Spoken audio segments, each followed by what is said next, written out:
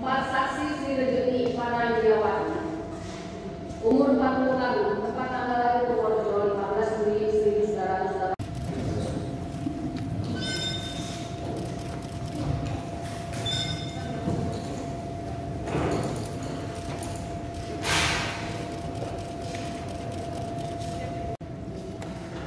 Ya, eh, sebelum dibacakan kita boleh sepakat ya agar pembacaannya menghemat waktu karena sudah ada apa. Jadi yang dibacakan itu eh, untuk dakwaan, saksi itu bisa seperti yang eh, mengulang-ulang itu tidak dibacakan lagi.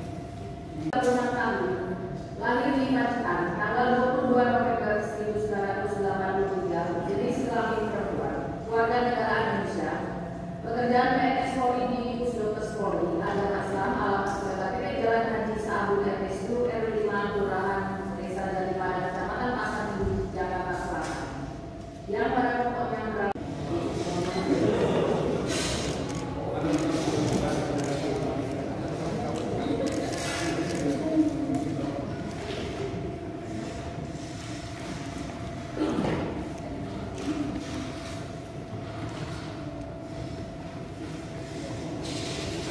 Baik, sudah awal sehat? Sehat ya? Alhamdulillah. Kita lanjut persidangan sebagaimana sejak lalu. Hari ini untuk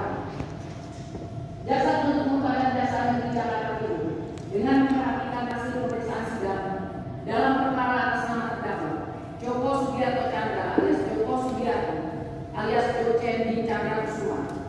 Sanggau, umur tanggal lahir 69 tahun 27 Agustus 1951, jenis kelamin laki-laki, kebangsaan Indonesia, tempat tinggal Jalan Pol 1 Kami 89 RT 003 RW 008 Kelurahan Grogol Selatan, Kecamatan Sebayu Selatan, Provinsi DKI Jakarta. Saat ini bertempat di dalam agama Katolik, pekerjaan karya sastra Terlepas dari peran yang harus dijalankan, kepentingan yang harus diperjuangkan oleh masing-masing pihak adalah pencapaian keadilan. Namun demikian perlu kami ingatkan kepada semua pihak khususnya terdakwa bahwa keadilan tertinggi yang kami perjuangkan dalam forum ini dapat berarti tidak ada tertinggi bagi terdakwa dan satu hal yang dipandang sebagai tidak ada tertinggi bagi terdakwa ini justru bermakna ada tertinggi bagi masyarakat. Oleh sebab itu, sekali lagi kami sampaikan terima kasih kepada siapa saja yang hadir di sini karena akan menjadi saksi hidup atas upaya kami yang secara sungguh-sungguh memperjuangkan keadilan yang tertinggi bagi masyarakat.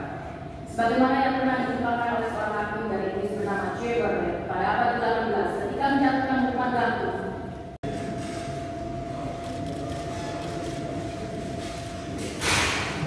Sudah dengar? Ya. Atas tuntutan penuntut umum tersebut, saudara berhak mengajukan pembelaan pledoi.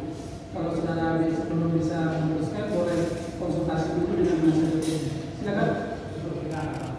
Ya? Akan mengajukan. Iya. Ya, baik. Jadi eh, untuk memberi kesempatan pihak terdakwa dan penasihat hukum, ya, akan mengajukan penasihat hukum.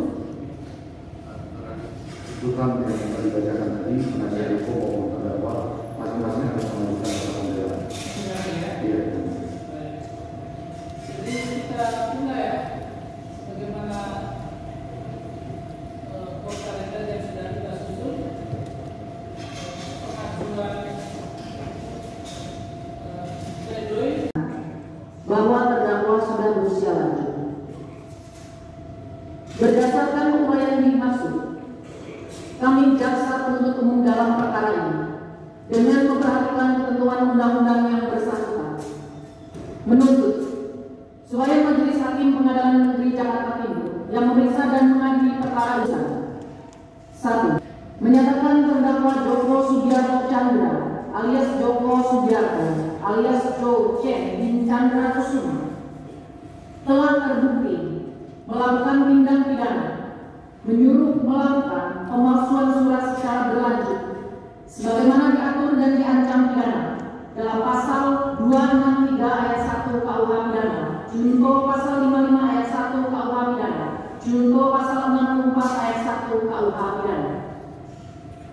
Menjatuhkan hukuman terhadap terdakwa Joko Sugiarto Chandra alias Joko Sugiarto alias Jo Chen Bin Chandra Kusuma dengan pidana penjara selama dua tahun. Menyatakan barang bukti berupa satu asli buku paspor Indonesia nomor paspor X 1061769 nama lengkap Joko Sugiarto Chandra dikeluarkan oleh kantor imigrasi Jakarta Utara pada tanggal 23 Juni 2020. Satu unit handphone merek Galaxy Samsung S20 nomor email 354682110012629 satu dua ratus Bupati handphone 0813988758 satu unit handphone Galaxy nomor email 13549101074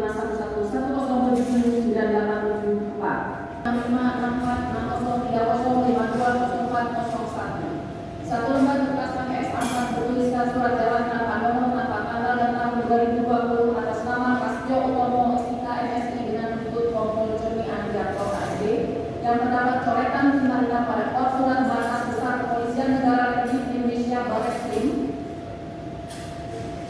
satu lembar kertas KPS A4 bertuliskan surat jalan tanpa nomor tanpa tanggal tahun 2020 atas nama Prasetyo Utomo SIK MSI satu unit handphone iPhone 11 Pro Max ME 3539094036668 dan seterusnya OSIK SSI 4. Menghukum terdakwa untuk membayar biaya perkara sebesar Rp5.000 tuntutan pidana ini kami bacakan dan serahkan dalam sidang hari ini, Jumat tanggal 4 Desember 2020. Penuntut umum.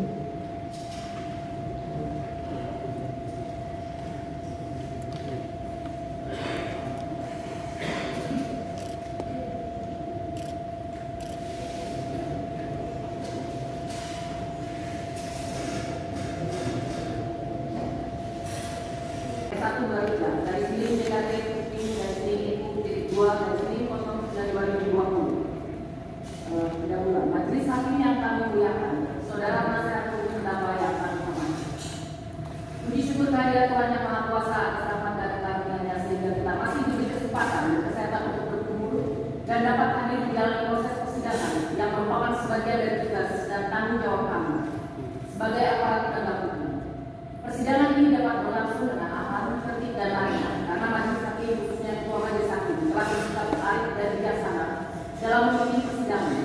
Meskipun terjadi beberapa perbedaan pendapat, baik dari kami selaku penuntut maupun dari penasihat. Dengan ketua majelis hakim, namun semua Artinya bahwa eh, agenda selanjutnya kami akan melakukan nota pembelaan terhadap klien kami, ya kan terhadap tuntutan yang dibacakan oleh jaksa penuntut, kami akan sanggah semuanya nanti dalam nota eh, pembelaan pledoi kami. Tapi untuk yang uh, pasal subsidi ada tidak. Kenapa?